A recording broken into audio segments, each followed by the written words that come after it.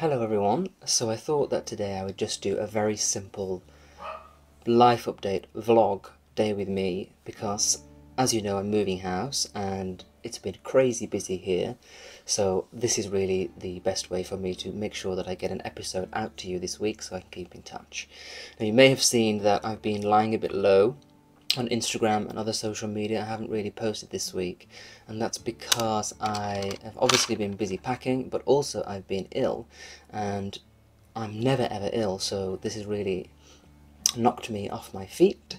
Um, I've had like a, a sore throat, and I felt very, very weak, just drained of energy, and I think it's because obviously I'm very stressed about moving, and uh, I think when you're stressed, your immune system is not in its best shape, so it's kind of got to me and I've be, made myself a little bit ill. But I'm fine. It's nice to be back recording something for you. So I've just got out the shower, I'm starting my day, and this is pretty much a normal day for me in terms of getting ready. I sit here in my bedroom in front of this mirror and I've just had a shave. Uh, when I did my last video about getting ready for a night out, had a few questions about how often do I shave. I usually shave about three times a week. I do like to have a very smooth look, and I find that if I if I don't if I don't let it grow long enough, this stubble, then it will really shred my face to pieces so I have to usually wait about two days and then I can have a shave. So after I've had a shave I use this uh, Shine Control Daily Moisturiser from Boots. It's got witch hazel so it's very very soothing um, it feels very cooling on the skin after you've had a rough shave. So I just use some of this and apply this onto my skin. Ah, so cooling, so refreshing after a shave. But I do use this every day as well. I find it's a very good base for the skin and it really just stops me from breaking out and I used to have a few years ago a bit of an issue with my eyelids where I had this kind of eczema and this is the cream that stopped that. So I like to use this every day just to prevent that. So yeah I'm just applying that onto my face and neck. So yes it's been a very stressful time. I've managed to find a flat. I'm moving in next week. So hopefully next week's video will be me showing you my new place, which is going to be very exciting. But it was all last minute. Uh, the rental market here in Edinburgh is very, very strong. We've got a lot of students who are looking to start university in September. So I've been battling with all of them to get the best flats and uh, it's not been easy. But last week I viewed something, it was perfect, put the offer in, it was accepted, and it was very, very all smooth. So I think that it was meant to be. So yeah, finally got somewhere, and I'm very, very excited to share. I'm not going to be putting any makeup on because I don't usually wear makeup every day. So this is the real me. This is the real skin. Uh, the only thing that I do every day is fill in my brows because as you can see they're quite gappy. So yeah, I've put on the moisturiser. I'm going to let that just sit in for a little bit and then after that I use this uh, Fenty Skin um, SPF. I like this, this is by Rihanna, and uh, it's one of the only SPFs that don't irritate my eyes and my skin, so yeah, this has worked very well. And I also like this very cool bottle, which just twists like this, and also it's refillable. If I can just get it out. Oh yeah, so it's you take it out like that and it refills. So you only need to buy this once and then you just buy the refills. So I like it. And this is SPF 30.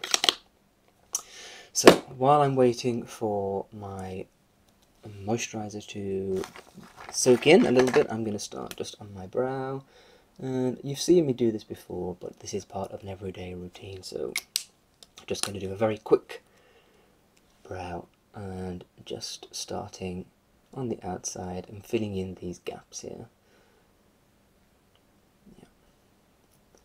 So it's been very strange not to post on social media. I kind of feel like I've been, well, I've been posting on Instagram for about seven years, almost every day, at least on stories as well. So not to post for a week has been strange because I'm used to having a lot of interaction with people on Instagram who send me direct messages, who comment on pictures. So it's been a lonely week, but I just didn't really have anything to post. So I'd rather not post anything than post something that is not going to bring joy or happiness at least. So I've kind of stayed away. Hopefully this week I'll have a lot to share. Obviously moving house is going to be busy but also brings a lot of interesting things that are going on. So I'll be back to regular posting then. And you can probably hear that my voice is a bit gravelly and deeper than usual. I think that is my sore throat. Uh, I really did believe that I had COVID. I thought, oh gosh, I've got COVID. But no, I haven't got COVID, I'm fine. So that, that's it. Brow done. Brow's done. Very simple. I have put on this Fenty Skin. I put it on about 15 minutes ago because I wanted to let it soak in and then I can start my day. The last thing that I use, this is a new thing that I've been using. It's called Mario Badescu, I think. That's how you pronounce it. And it's a facial spray with aloe vera, herbs and rose water. And I find it's just very refreshing. I'm very into these face sprays, as you know. So I just like to spray that all over. Oh, so refreshing. Use a lot. and just let it soak. So yeah, what I'm going to do is I um, I've been making a smoothie every morning for breakfast, kind of an immune boosting smoothie. So I'm going to make that, share it with you, and then we'll take Sophie for a nice walk in the sun. This immune boosting smoothie has just five ingredients, but it is so tasty and perfect for giving a boost. We've got fresh orange juice, which is a great source of vitamin C, then fresh lemon juice to help promote hydration. I'm also adding fresh ginger, a powerful antioxidant which helps fight cold and flu viruses. These berries are packed full of flavour and vitamin C, whilst the Greek yogurt will add richness and flavour to this beautiful smoothie.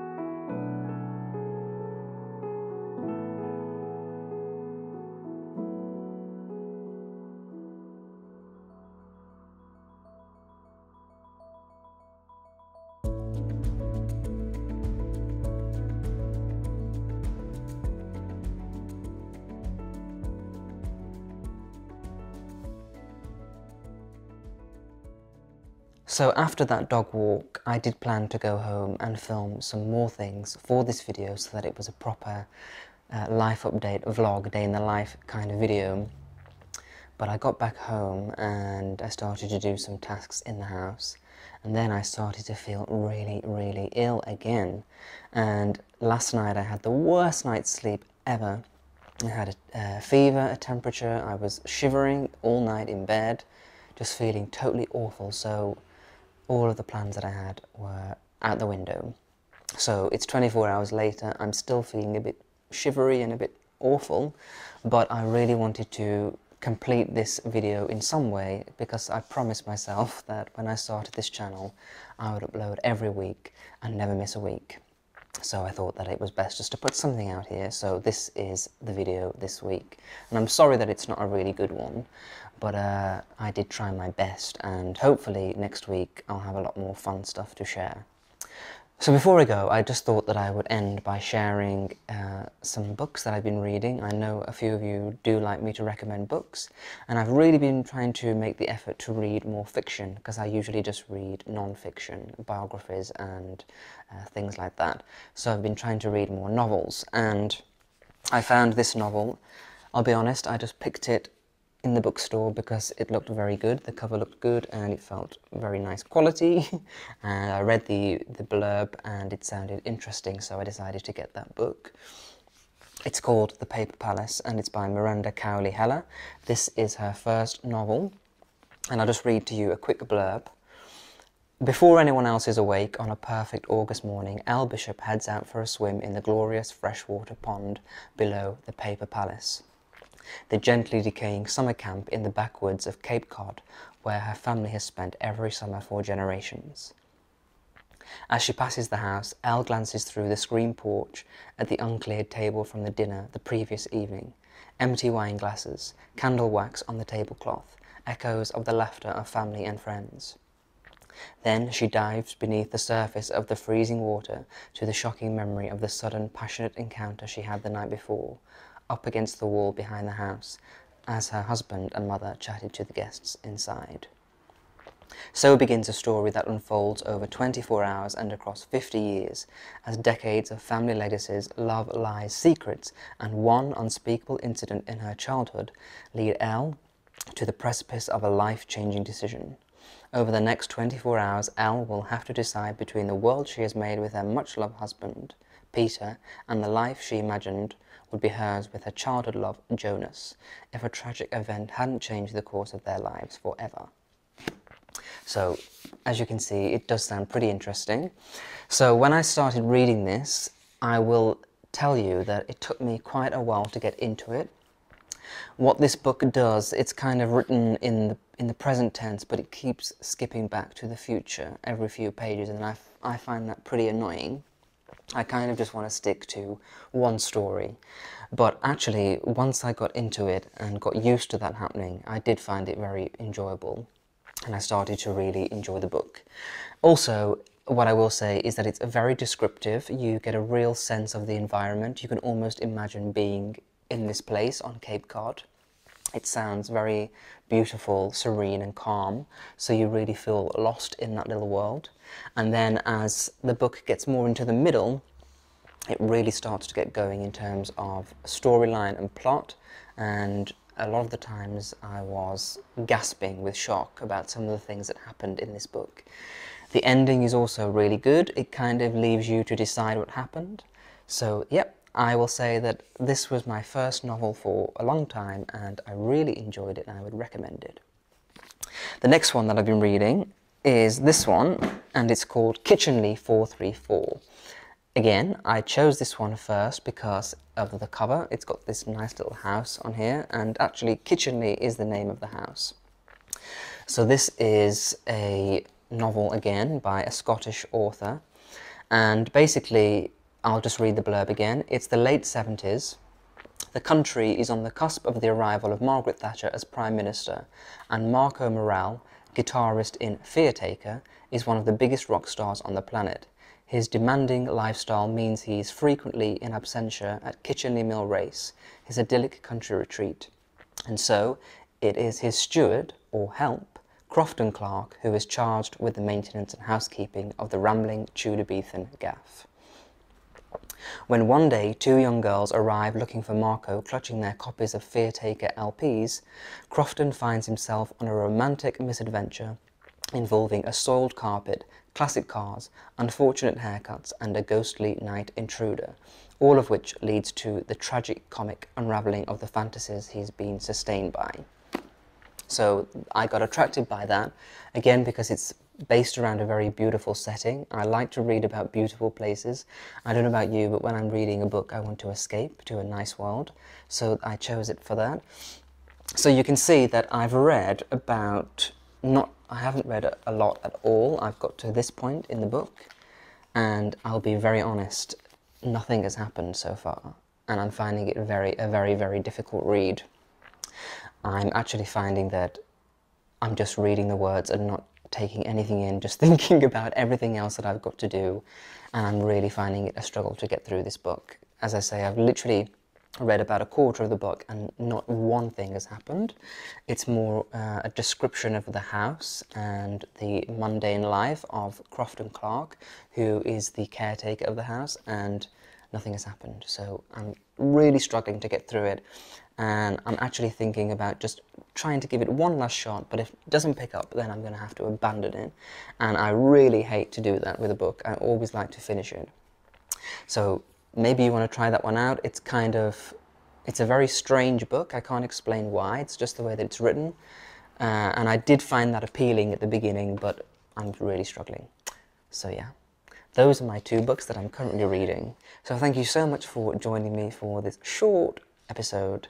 I'm excited to move house next week and share that with everyone. It's going to be really cool to have a new place and to have a lot more content based around a new house. So it's going to be very exciting and I hope that you will join me.